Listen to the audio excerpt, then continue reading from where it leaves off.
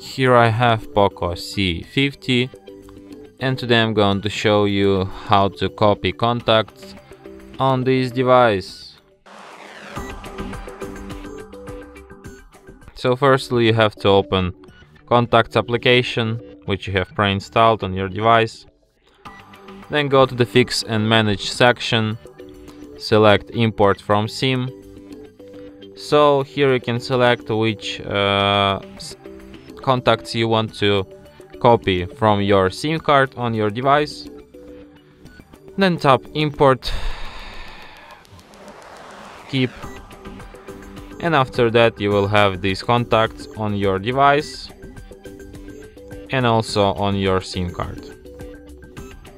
So yeah. And that's it. Thanks for watching. If you find this tutorial useful, don't forget to hit that like button and subscribe to our channel.